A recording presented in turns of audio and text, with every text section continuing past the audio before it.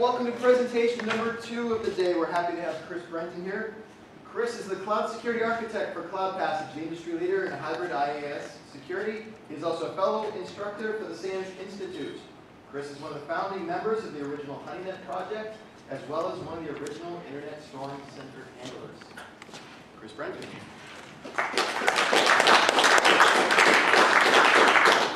Good morning. First off, email address. Get out of here and get questions, so I'll do Q and A at the end, of course, but, you know, they get, and you always wonder out, say, oh, damn, if I only asked, well, feel free to drop me a line. Why am I here? I have been living, breathing cloud security for the last couple of years.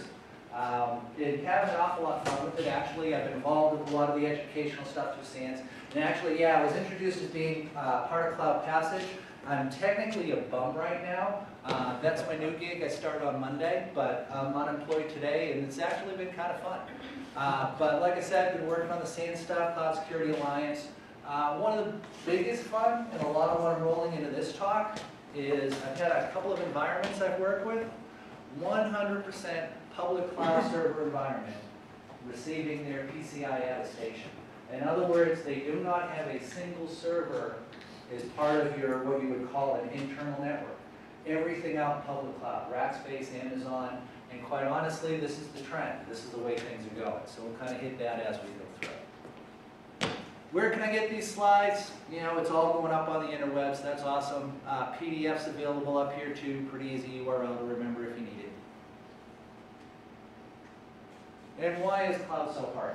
I've been teaching cloud security to SANS for a while now, and one of the things I've noticed is the uh, folks that have been at this for a while, like Jerry, who's been uh, you know hardcore in security for many many years.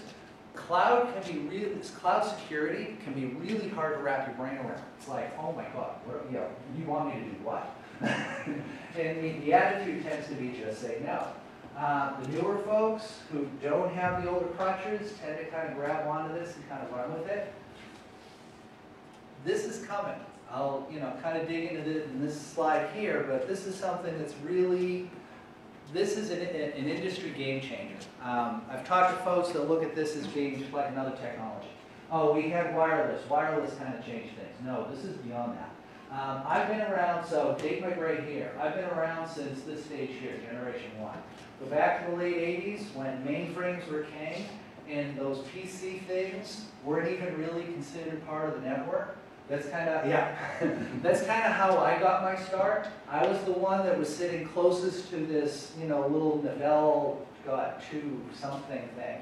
Um, and, but I remember the mainframe guys. And I remember them saying, oh my God, why would you ever do that? Your data is not centralized. You can't secure it. There's no way to centralize your authentication. Client server is never going to happen. We're never going to move away from mainframes. Well, certainly there's still mainframes and minis out there today, but it's certainly not how we normally do business, right? Through generation two, it's been client server. We're moving into public hybrid now. Um, I've dealt with a lot of companies out in San Francisco, especially New York City, where they may run 50, 150 servers, and again, not a single one of them on site.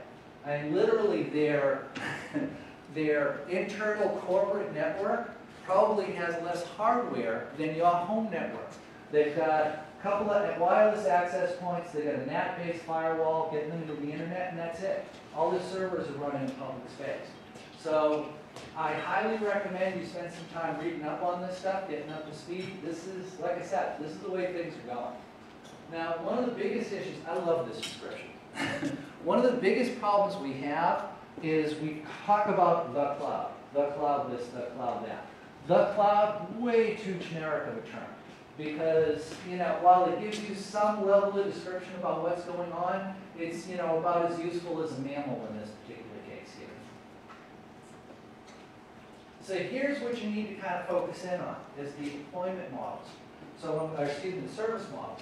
So infrastructure as a service, platform as a service, software as a service, you've probably heard these, maybe you've seen this layout, maybe you haven't, but each of these little boxes is just part of our application stack. So if you think about, you know, like your VMware or your Xen or that type of thing, we're at about this point here or lower.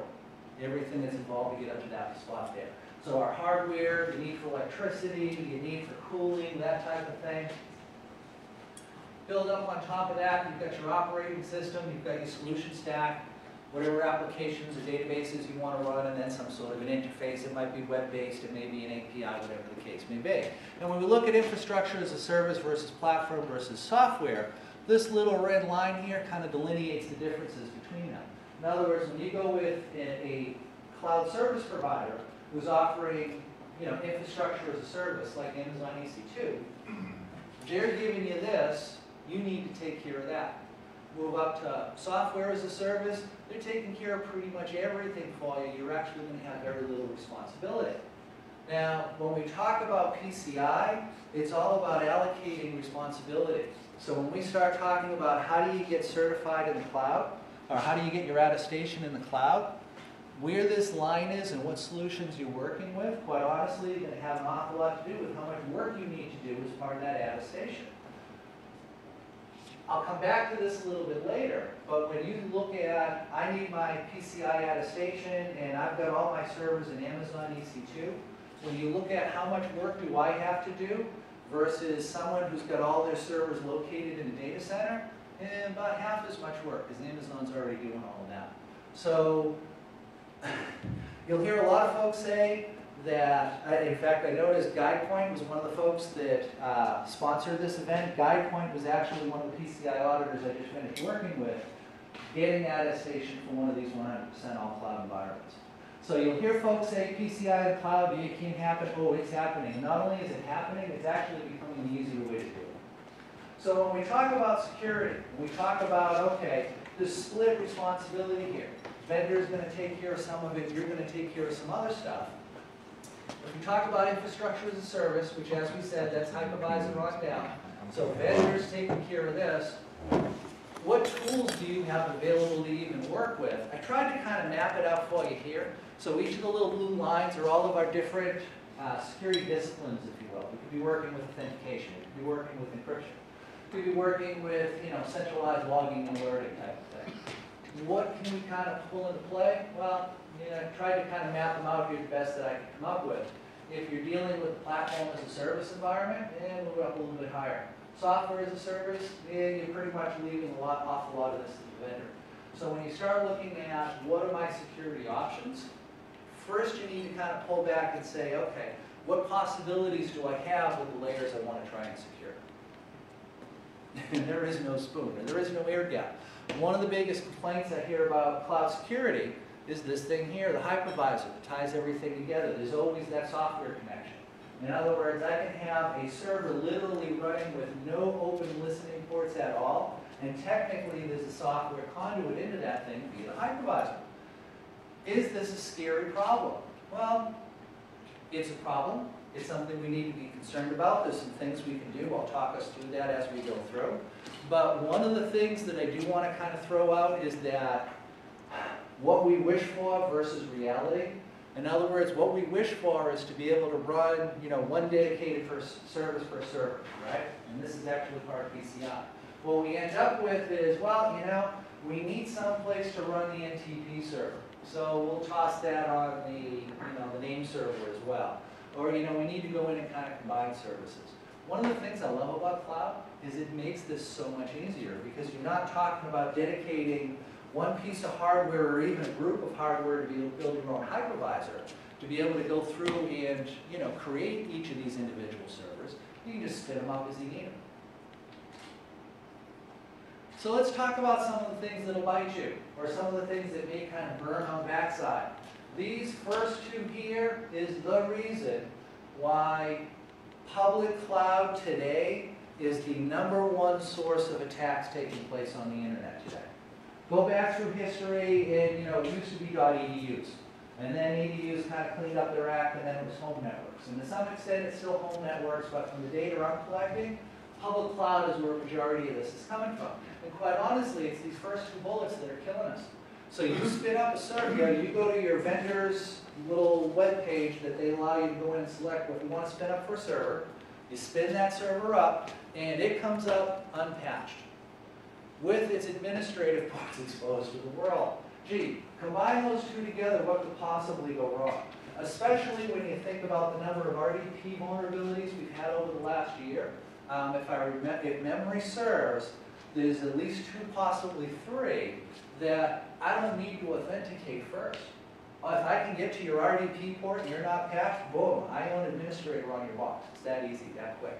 And there are folks banging away on that on Amazon constantly, specifically trying to leverage this combination. So before you can get in, before you can, you know, spend a half hour, 45 minutes, whatever it's gonna take to patch and get up to date, this is what happens. Now there's ways to fix that. I'll come back and talk about that towards the end as well. Employee public cloud sprawl, I love this one. Quick show of hands, how many of you within your company are using public cloud today for high-value business? Okay, I see about six hands. I'd say at least eight more of you are wrong. In oth- In other words, go, here, here's something to try, here's something to try at your office. Go to your firewall log, okay? Look, do a reverse lookup on the management interface for Amazon and for Box.net. Just look at those two, and I can guarantee you're at least gonna get one hit. In other words, most of us feel like, oh, we're not out in public cloud yet. You're where the mainframe guys were three, 30 years ago. In other words, the mainframe guys back around 1990 thought, oh, well, all our corporate data is still on the mainframe. And as we know who grew up in that era, oh no, we were throwing it on PCs, it was getting stored there. This is already happening. So if you haven't taken steps to try and control this yet, it's already getting out of control. You really, it's something you really need to look at jumping on. Dealing with logs, that's a big one. That's one I'd rather take offline just because it's so huge. But like I said, this requires a complete rethink. This changes so many different things. You know, one of the things that um, I had hand in was the early snort days and writing signatures and, you know, getting snort up to speed. So I have been, up until recently, a really big intrusion detection guy. But when you start talking public cloud, network-based intrusion detection, really hard, if not possible to do. And here's our problem. Our problem today is our workloads are mobile. Now, our workload could be the entire virtual machine.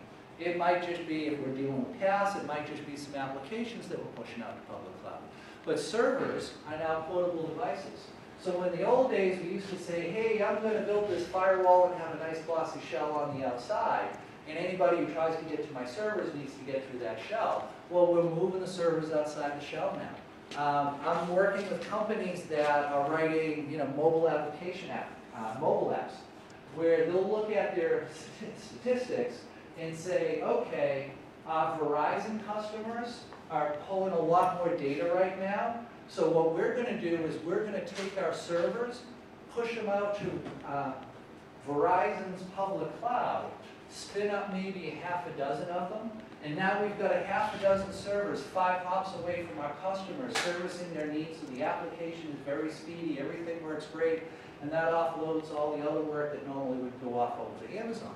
So not only are we pushing them out to public cloud, we're leveraging the fact that there are so many available public clouds, we can put the workloads close to where we need them and moving them out that way. Well, if we're moving servers around, we've got to have security that moves with it, because like we said, as soon as it goes across that perimeter, boom, it's gone. Now luckily, we've dealt with this before.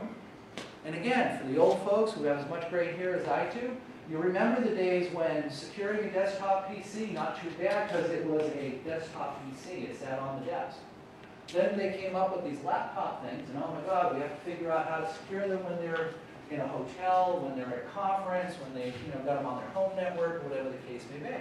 And over the years, we've developed technology to be able to lock down these laptops.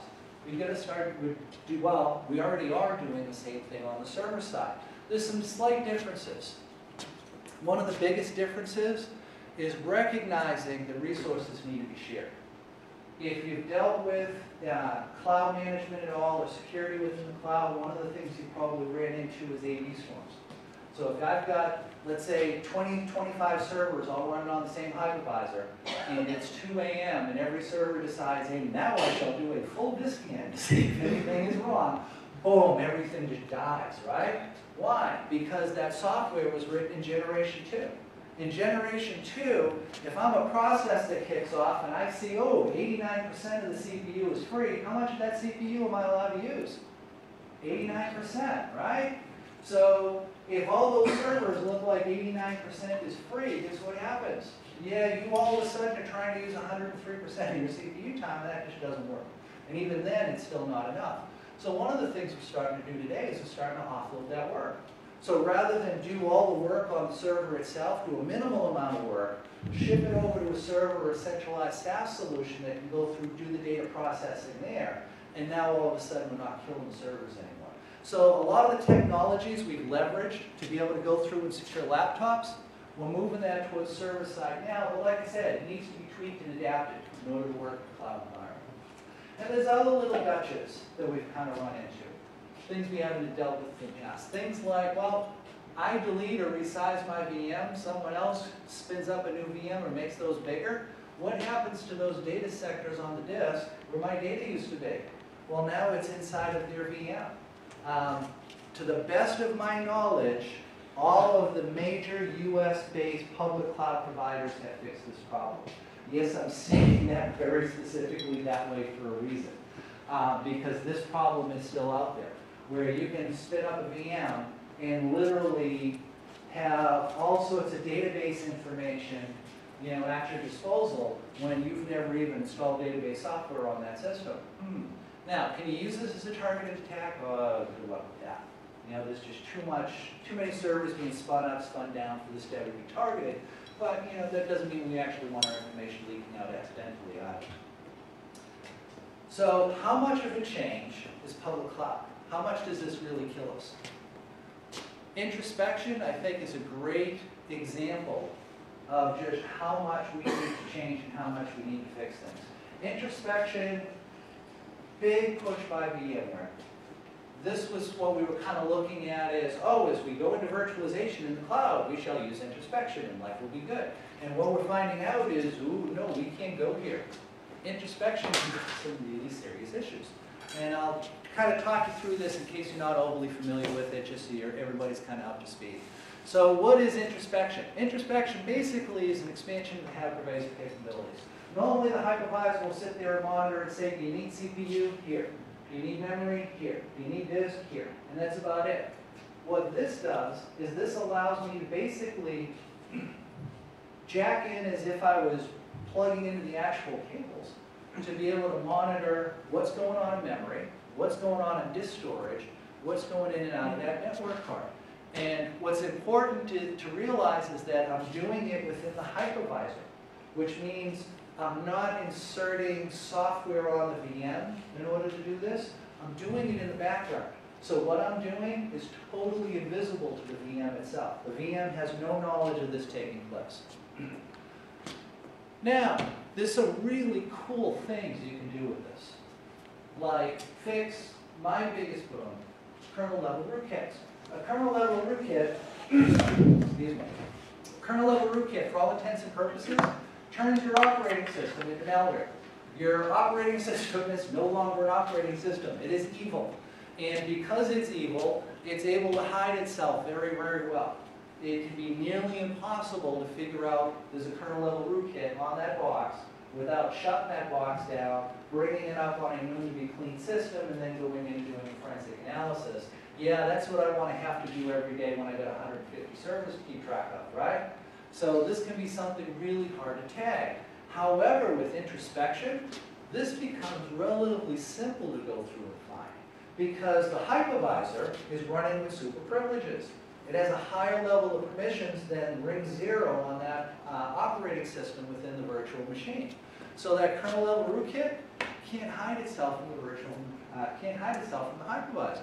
So from a security perspective, wow, I can do some really cool things with this. Like forensics, firewalling, malware controls we were just talking about. So folks have been looking at this saying, wow, I can do some really cool things, Introspection is the way to go. We're actually, uh, there's at least three public providers I can think of off the top of my head that will charge you extra money to implement this as a service if you want to deploy VMs with them. Performance benefits, that AV storm thing I talked about, it can fix things like that. So we've got better security, we've got better performance, what could possibly be wrong here, right? A Couple things. First, how do we make code secure? Make it small and efficient, right? Now, that doesn't mean I can't have a remote vulnerability in five lines of code. But certainly, if there's a remote vulnerability that exists in five lines of code, it's going to be a lot easier for me to find than if it's in five million lines of code, right? So smaller, more efficient, better, this tends to kind of bloat out the hypervisor. Also, it allows third parties to get in and have direct manipulation of the hypervisor itself. Dude, what could possibly go wrong here, right? So now we're not only talking about the hypervisor vendor or open source group or whatever the case may be, we're talking about anybody who accesses that plug may potentially cause this thing to roll over and die, or worse, you know, introduce some level of insecurities. The other issue I, I have with this, introspection increases interaction with virtual machines. So if I, so if my VMs are untrusted, I want a solid boundary between my hypervisor and my VM as much as possible, right? So think about it, you're spinning up an Amazon, do you really want Amazon's hypervisor interacting with other VMs that may be insecure, which may now help somebody have a way to go in and compromise it? Probably not, right? And a good example of that is what we do to network-based intrusion detection systems. I used to Marty Roesch constantly in the early days, because I loved finding these things. Basically, what you would do, so let's say I want to go and whack your network, and I want to make sure you can't see me do it, I would create a specially crafted IP packet that would never hurt your servers, but as soon as Snort read it and tried to process it, it would cause Snort to roll over and crash. And in some cases, folks were even figuring out how to do privilege escalation. So they were figuring out how to get, this is again, going back to the real early days, they were figuring out how to get Snort to actually execute commands with whatever level of permissions it was running with, which if you've ever run Snort, what do you normally run it as? You run it as root, right? So root level user, you're executing commands on that system that's supposed to be protecting the host. So again, you've got a box with no open listening ports and somebody can go through and own that. So this sending unexpected data that becomes difficult to process, as soon as we int introduce introspection, we now open the possibility that that's going to happen in the hypervisor. Ooh, it's kind of scary. Because if the hypervisor gets owned, everything's gone that. Any VM that's touched that hypervisor now becomes suspect. The other issue I have with it, from a vendor perspective, introspection is awesome. Why? Because it locks you in. because all this stuff works with that hypervisor and that hypervisor only. So if you bought in uh, introspection products, if you say, okay, I want to move from hypervisor vendor A to hypervisor vendor B, you're not only just looking at swapping hypervisors, you're looking at swapping all your security solutions that you've integrated with introspection as well. So it helps to support that whole vendor lock-in thing, which I'm not a big fan of myself. My biggest issue, though, is that it's providing uncontrolled access to the VM. So again, let's pretend Amazon decides they want to implement introspection. That means Amazon can now scrape any data off of disk, out of memory, or off of the network with your VM, and there's no audit trail on your VM itself. In other words, there's no login to look at to see if it was triggered, there's no file permissions or dates, timestamps, or anything else to look at, because it's all taking place outside of the VM. Today, to go in and whack Amazon, the best I can hope to get out of that really is maybe the ability to set up free accounts. I can't get to your data with the way they have their security structure today. However, if they chose to implement introspection, like again, a couple of public vendors have, this would be the first thing I'd want to go after. Because if I can whack introspection, I can now pull data off any of their clients. And again, the audit trail to find, to figure out this has even happened is almost non-existent.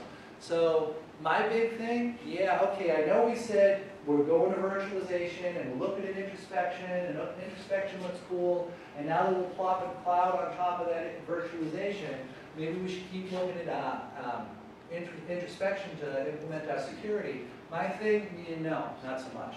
Once you get this out in the public space, this really falls apart very quickly. So if the hardware, the hypervisor, the VMs are all private and all part of your corporate, and that's it, yeah, okay. Introspection may be something worth considering. But if you think you're gonna go hybrid, and you're gonna need security out in public cloud, eh, not so much a good way to go. All right, so, that's all the things that can bite you. What can we do? Well, like I said, a lot of this is still kind of work in progress. We're still looking at, you know, tools like Tripwire, you know, which we look at for file integrity management type of thing. And how do we adopt those onto the cloud side? You know, how do we get those play nice when, you know, you can't use 100% CPU all the time, that type of thing. So how do we get those to work? This is already happening. I'm seeing top 20 financial companies in the world pushing data out in the public cloud. Already past, okay, we're gonna push stuff out there we don't care about just to test this, and just now starting to get into, okay, we're actually gonna push out data that has some level of a loss expectancy to it that would hurt if something bad happened. So we're already hitting that tipping point where we need decent security, and the tools are still kind of playing catch up to this whole thing. So how do we deal with this? My personal opinion, and again, this is just me, we need to push the security out to the lowest common denominator, namely the VMs. Now, when we think about virtual machines, we tend to think infrastructure as a service, but typically when you're running platform as a service, you got VMs you're working with as well. In fact, a lot of software as a uh, service companies are built off of VMs. It's not uncommon to find, you know, Acme Corp that sells, you know, access to online widgets or whatever, that's a SaaS solution, that have built their SaaS solution on top of some other CSP's infrastructure as a service solution. So when you start looking at what's our lowest common denominator to work with, it's this virtual machine. So if we push the security out to the virtual machine itself, now take that workload, move it someplace else, you're still gonna be in pretty good shape. One of the things I see some companies struggling trying to do is to try to do this at layer two, layer three. In fact, we were talking about this last night at the, at the Stogie Fest. So let's say I've got a, a public cloud vendor over here that I'm using, and I wanna, you know, throw some virtual machines out there and I wanna secure them. So I may try and set up a virtual firewall setup. Okay, well, that takes care of the network side, It doesn't really help me with the hypervisor side, but it's that, you know, I had a crunchy shell over here, let me try and put a crunchy shell over here too, so it kind of makes sense to me, and some folks are going that way. And then what they do is they set up an IPsec tunnel between the two. So now, in order to get to this VM, you've got to go through the firewall, you've got to go through that VPN tunnel, get access to the server that way. And for a Gen 2 security person, you sleep a little warmer and fuzzier because all of that's taking place behind your perimeter. So it's almost like that VM's behind your perimeter, so it makes it a little easier to sleep at night. Okay, upside, that's probably a decent way to transition and start moving. Downside isn't gonna work long term.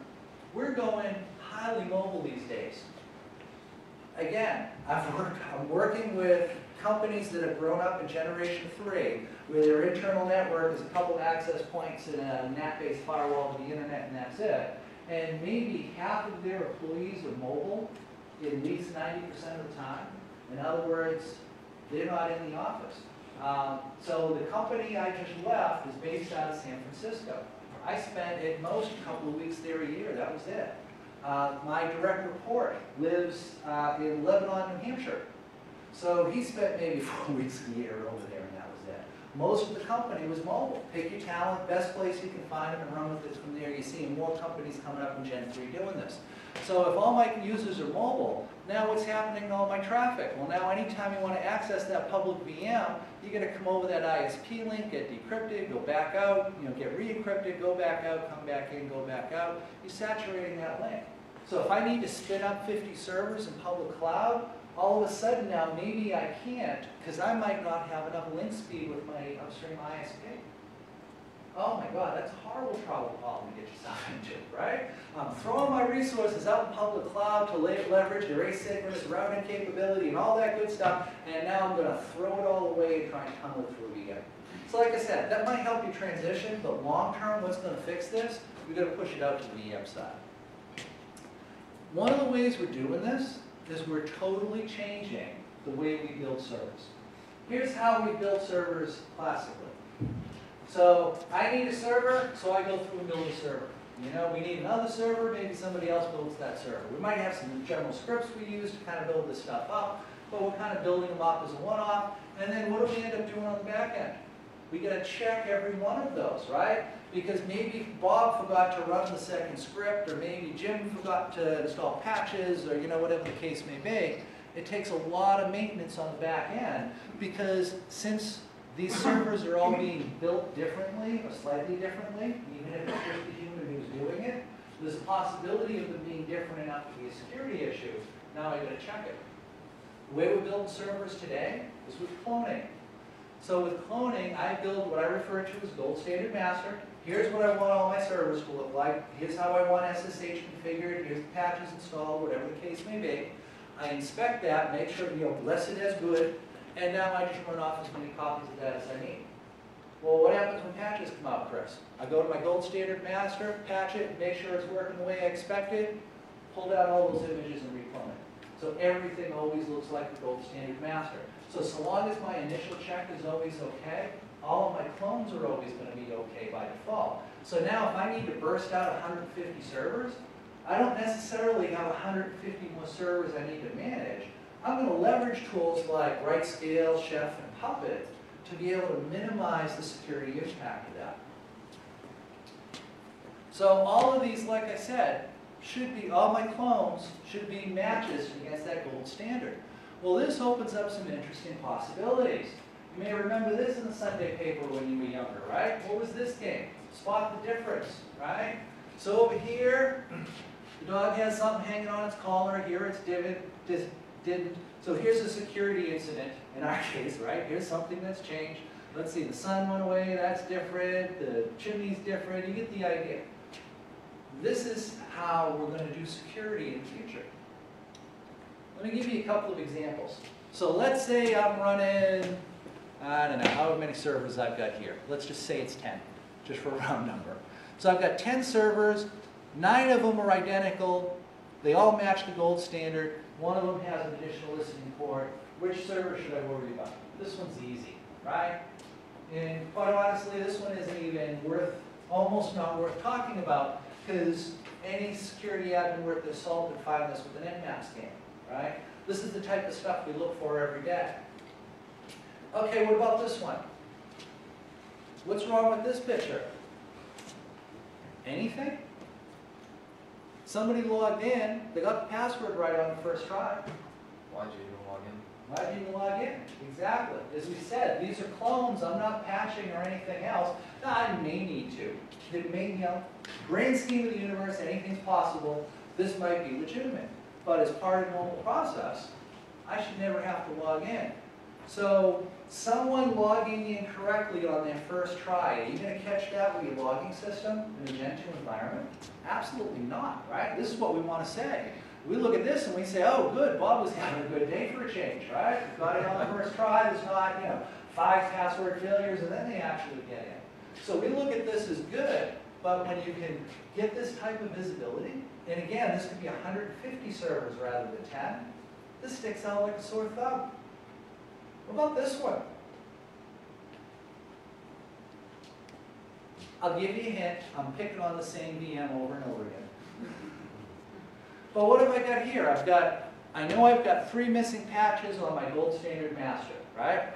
All my systems have three, those same three missing patches, except this one box is patched and up to date. Well, that means that box is okay and it's the other nine I gotta worry about, right? No. What might cause this? Somebody patching it for you? Somebody patching it for you, right? Because there's a lot of folks out there that are really, really nice. They're really helpful. And they go around and they, they're not breaking into your system because they're evil. They're breaking in because they just hate the fact it's not patched and they want to make sure it's patched and up to date. So they will patch it to make sure no script kiddies can get in besides them.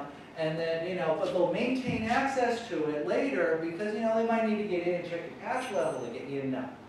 But, yeah, exactly right. Typically, when somebody breaks in, one of the first things they may do is install all of those patches you missed to make sure some script key doesn't get back, get in exactly the same way they did.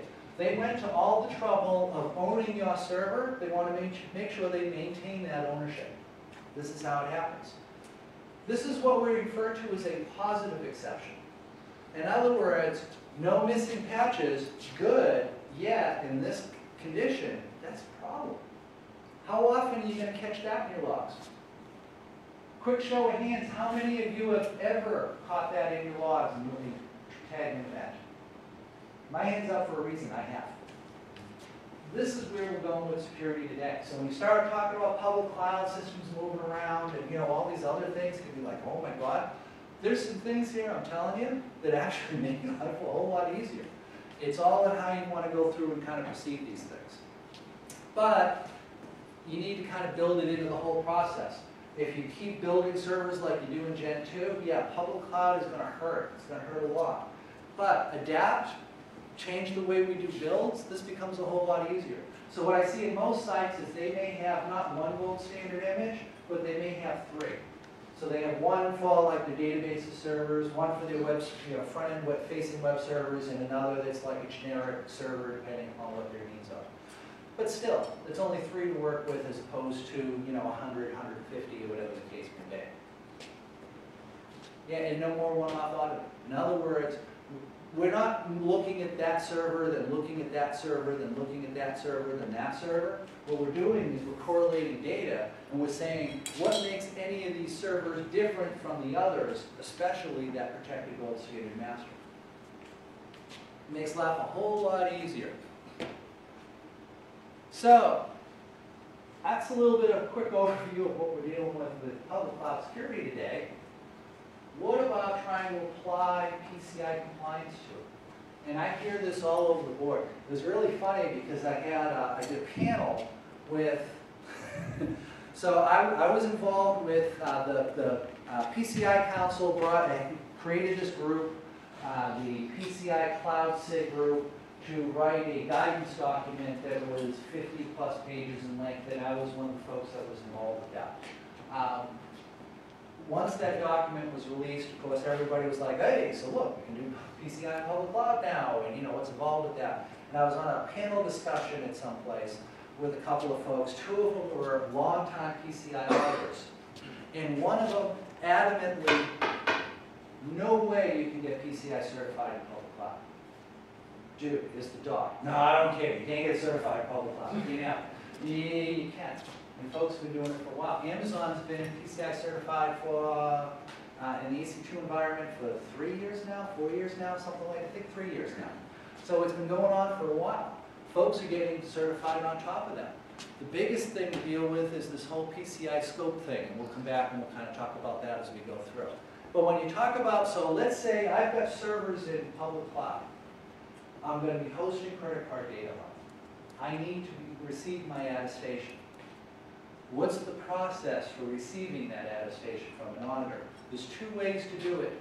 The easy way and the hard way, which is why our guidance document ended up being over 50 pages in length, even though the PCI DSS itself is only about 70. The easy way is to go to a service provider like Amazon, who's already PCI certified, like Amazon, get their gap analysis, go through to define your scope, and I'll talk about what that means in just a minute, have your auditor check your gaps, and you're done. So in other words, if your cloud service provider already has their PCI attestation, if you can show that to your auditor, and show the auditor, here's the PCI control items they're taking care of, and then you fill in the rest, bang, you're done. So this actually becomes a pretty easy process. The hard way to do this, and the one that took the longest to describe in the document, because you always want to make sure folks have a plan B in case they need it, I can't imagine anybody wanting to do this, but, you know, again, wanted to give folks Plan B. And that is, work with a cloud service provider that has not already received their attestation. And basically, you need to pay your auditor to go through their environment and give them your attestation. In other words, you're not, your auditor is no longer looking at just your environment, it's looking at your cloud service provider's environment as well. They're gonna do the whole thing at your cost. Oh boy. So you can do it if you want to, but this is the way, this is the easy path, that's the one we really, you know, kind of put out there for folks to say, this is the way you want to go. So this is right out of that Cloud SIG document that I mentioned. So here's our main control points here. Here's our three different service models here, and you'll either see both client or CSP listed. What does this mean? This is, in general, who has responsibility for this control line under each of these different deployment models. Now, if you remember the drawing I showed you back at the beginning of this with the squiggly little red line, where the uh, provider was responsible for more of the stack than the tenant, as you move from infrastructure um, up to service, so- excuse up to software, you'll notice that here, CSP, very little responsibility. Here, oh yeah, they get a whole lot more. So again, how much of your PCI responsibility, if you will, that you can outsource depends on the service model that's involved here. So some of these will say CSP, some of them will say specifically client. Notice you never get rid of everything. You know, some of these are listed as both. Why both? Well, if it's software as a service and they're taking care of the hardware, they're taking care of the operating system, the application stack, the databases, and the interface and all that stuff, how could I ever, and, well, how can I end up with any responsibility at all, right? Shouldn't that PCI attestation basically be a get out of jail free card now? Because the SaaS provider's taking care of everything. Well, the way PCI is written up, you can never outsource everything. Um, excuse me. Assign a unique ID to each person with computer access is one of these specific control points. No shared accounts. A CSP has no control over that. You know, if they're both part of the same company, I can't tell if they're sharing the same account or, you know, if there's actually only one person sitting behind that keyboard. If your CSP can figure that out, be really afraid. Be really afraid. And do what I do and, you know, take a little sticky note and put it right over the top of your monitor. Yeah. Like that. Best piece of security I've ever invested. But you get the idea. So you'll never get, totally get rid of this, but you can kind of play around with how much you have to deal with depending upon which pro- type of provider you go with. So, let's, so first you need to kind of pick who you want to work with. So let's say we want to put some servers out there or we want to outsource some of that, but we don't want to give it all up. We want to be able to maintain security for ourselves just because we're paranoid, and paranoid is good. So we decide, okay, we're going to go with an infrastructure as a service provider. Then we say, okay, the easy way is to go with the infrastructure as a service provider that already has their PCI attestation. Amazon is a good choice for that. Okay, we're going to work with Amazon. So let's say we decide, okay, we're going to work with Amazon. Now we need to get our attestation. So how do we figure out which of these points we need to deal with? Sign a non-disclosure with Amazon or with anyone who's PCI certified or has the PCI attestation. And what they'll give you is a gap analysis. Basically, the gap analysis says, here's what we'll take responsibility for, here's what you're responsibility for.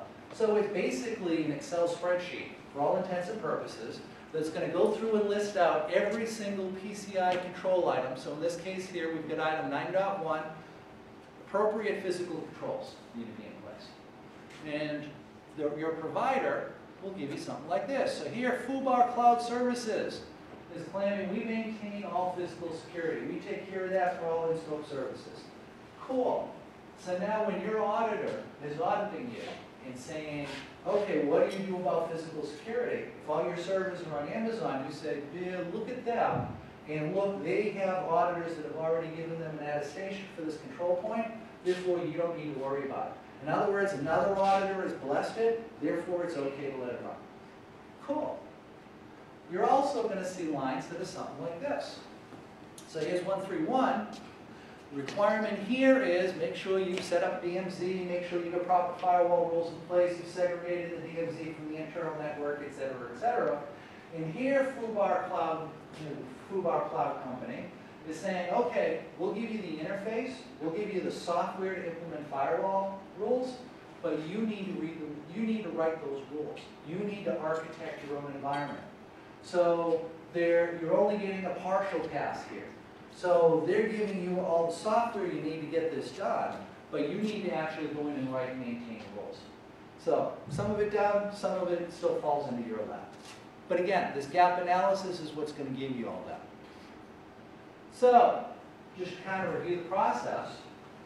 Understand credit card flow. So know what touches or processes that credit card information. Anything that touches or processes it, for all intents and purposes, is probably gonna be considered in scope. Identify everything that's gonna be in scope. And now look at, um, okay, which of this is being maintained by my cloud provider, which of it's being maintained by me.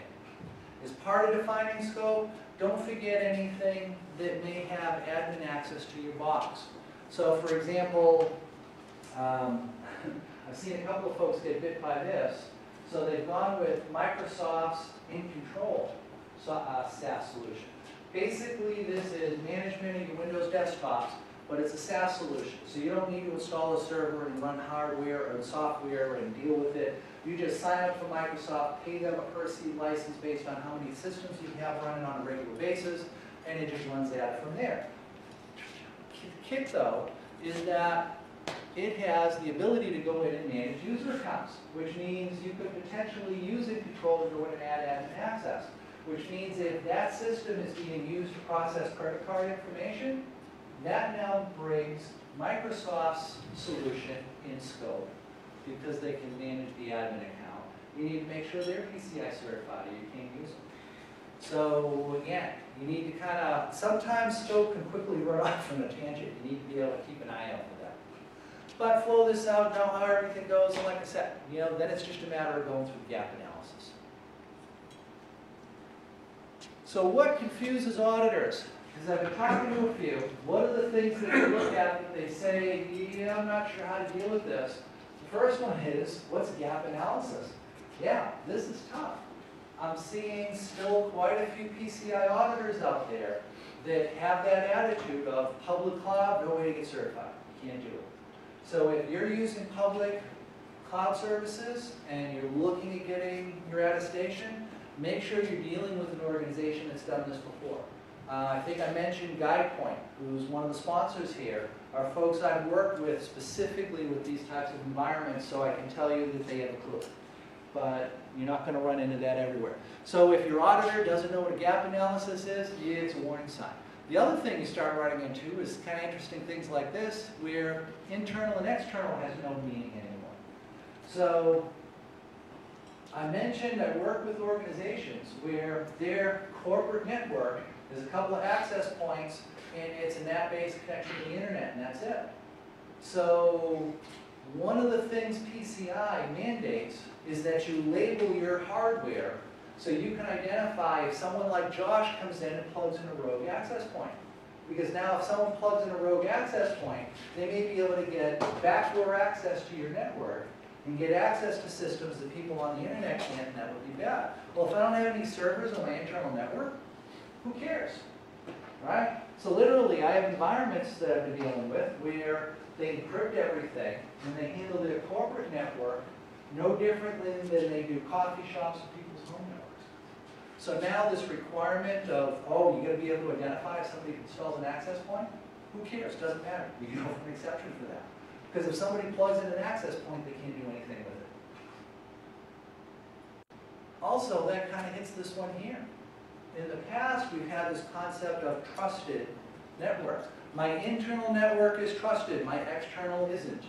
You know, we kind of think, and we've been kind of taught, especially by Cisco and others, to kind of process it that way. One of the things I love about public cloud, this whole concept completely goes out the window. There's no such thing as a trusted network anymore. Because typically, you know, my virtual machine has an IP address, maybe one IP off from hers, but we're totally different companies. So, no, we're not going to trust that network, thank you very much. I'm going to make sure that host is locked down as much as possible, and anybody who can get to it now becomes problematic. Now, this introduces some interesting concerns. You know, so I have a web app front end and a database server that need to be able to talk to each other. And I want to be able to clone that web app as needed based on load. And oh, by the way, I may decide, I'm going to put some instances over in Rackspace too, to kind of balance some of this stuff out.